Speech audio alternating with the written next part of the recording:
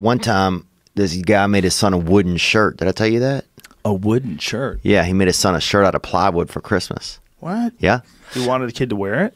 Oh yeah, he did. And I remember I was um Wait a minute. Is it a stiff shirt or is he make it like little itty bitty tiny pieces of plywood and weave it all together? oh no, it was pretty stiff. All these shirts are 100% wood.